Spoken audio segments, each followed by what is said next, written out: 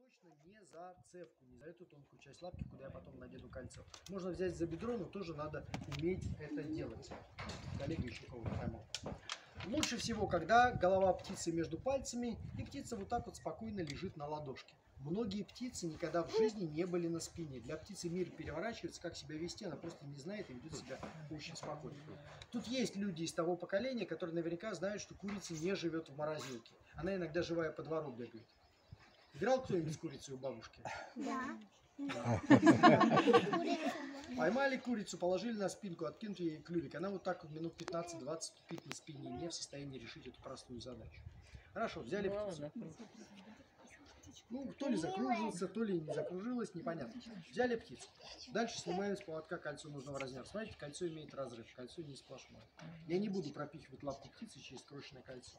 Снимаю кольцо, сама лапку протягивает, ее не принуждаю, все абсолютно добровольно, все свидетели. Те, кто поближе, дадут соврать, она сказала, да, согласна. Концы кольца вокруг лапки сомкнул, даже не дожидаясь ее слов, согласна. Смотрите, кольцо совершенно свободно движется вверх-вниз, вращается, ни в коем случае не пережимая кровеносные сосуды. Это обязательно. Все, птица окольцована. Естественно, никто птицу не отпускает. Следующий этап после того, как кольцо торжественно надето, из вас, кто постарше, я думаю, знают, как ходили, кому-то еще предстоит. Регистрация. Вся информация по птице записывается в специальный журнал. Что я сюда записываю? А что это за птица? Я записал спинус спинус. Я ответил на ваш вопрос. Почему я написал не по-русски, не по-немецки, не по-английски? Почему я написал латынь? Потому что мы одна из многих европейских станций. Мы постоянно обмениваемся данными с друг другом. В Европе много национальностей, много языков, а названия птиц, зверей, растений в каждом языке свои. Представьте, я отправлю данные по-русски. В ответ получу по-болгарски, хорватски, венгерски, польски, немецки, французски. Это будет полное безумие, это будет Вавилон. И чтобы этого не было, все используют латынь. Но для тех, кто подзабыл латынь птиц, если вдруг подзабыли. Если знали, вдруг забыли. Я вам сейчас ее покажу. Вы эту птицу должны все узнать. Вы все ее хорошо знаете. Кто это? Королек. Королек в два раза меньше. Ну, даже на почти в три раза меньше. Воробей. Воробей. А почему такой маленький? Болел в детстве. Детстве Зелёный, болели. Злой от этого, да? Зяблик. А, У русского человека, подсказка для взрослых, у русского человека вид этой птицы ассоциируется со словом водка. Перепел. Ну, не перепел. Да, вот чиж правде. Это чиж. Чижик-пыжик. Где-то был, на фонтанке злоупотреблял. Да, это про- Что-то там в Питере он это, побольше это курсанта. Да, это памятник. Ну, памятник чижу, конечно, побольше. Он там побольше Конечно, немножко. конечно, да. Это чиж. Да. Чижа всегда приятно показывать, потому что чиж очень спокойная птица.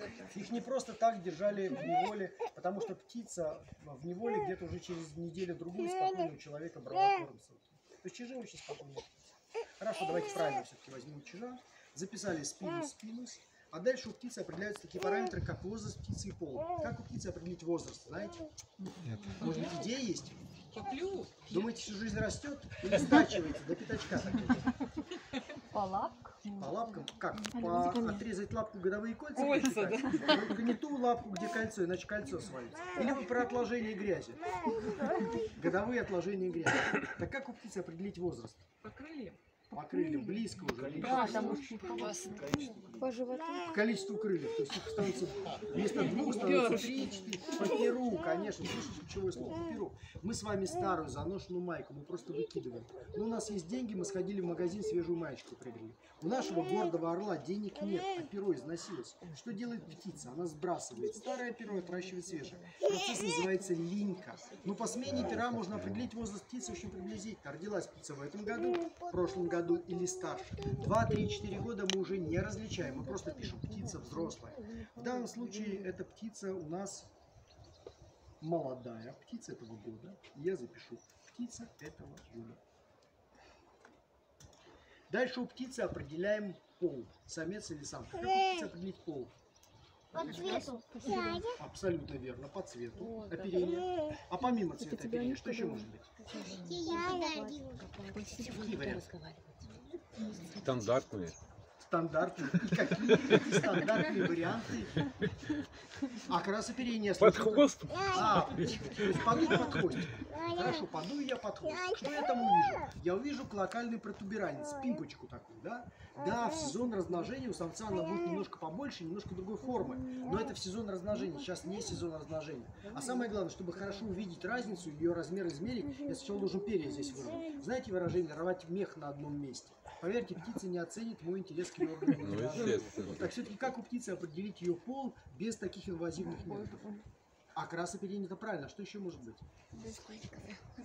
Размер, конечно. Половой диморфизм, так по-научному называется разница между полами, чаще всего выражен или в окрасе, или в размерах. Правила очень простые. Поймали птицу крупную, мы поймали самца. Поймали маленькую, поймали самочку.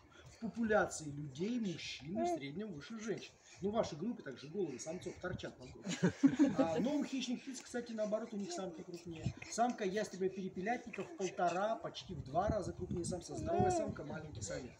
Но у мелких воротных птиц чаще не размер имеет значение, а окрас оперения. И правило тоже очень простое. Я думаю, все это знают. Поймали птицу яркую, заметную, привлекательную. Мы поймали самца, конечно, вы поймали. Поймали серую незрачную птицу, поймали самочку.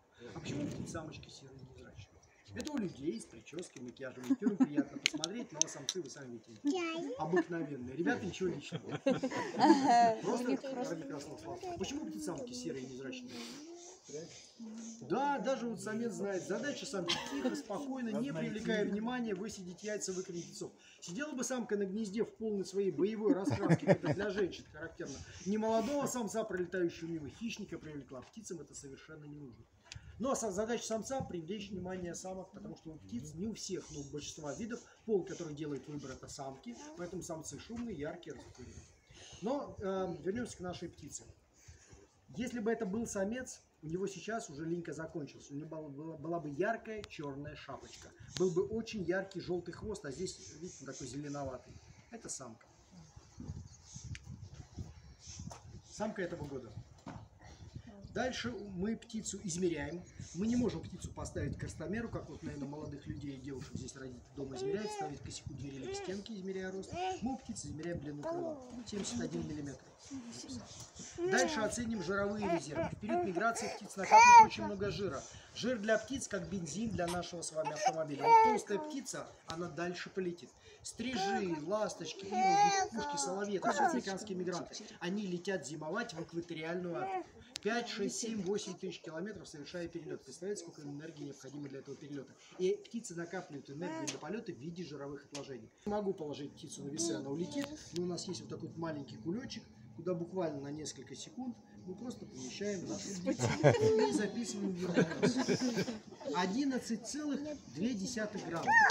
Тощая масса чижа 10,5 грамм. Ну, здесь получается почти 1 грамм жира есть. То есть это неплохо. 1 грамм жира для птицы такого размера дает ей возможность лететь 200-250 километров. Мы обычно птицу не достаем из кулечка, мы таким движением в окно ее отправляем. Но для вас, я, конечно, птицу достану, мы ее отпустим. Отпускаем? Молодые люди, девушки, давайте на счет три, только не очень громко, а то иногда птицы пугаются и летят обратно. Раз, Два, три.